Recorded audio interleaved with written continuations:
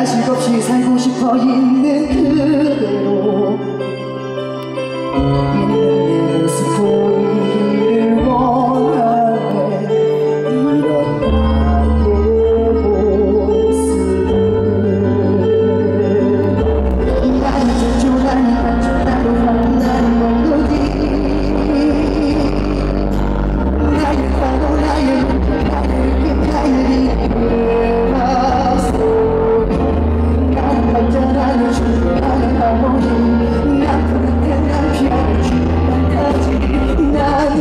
나는나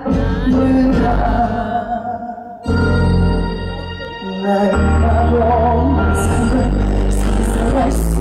없어 나 철학자는 아무것도 난 모르지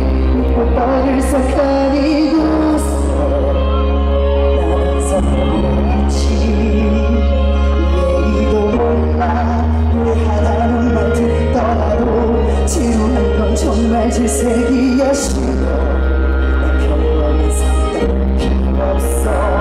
내 마음 터질 것 같아. 나 자유와 영광 찾아 어디로 가야 하는지 알 수 없도록 떠나가는 뭐라도 있는 그대로의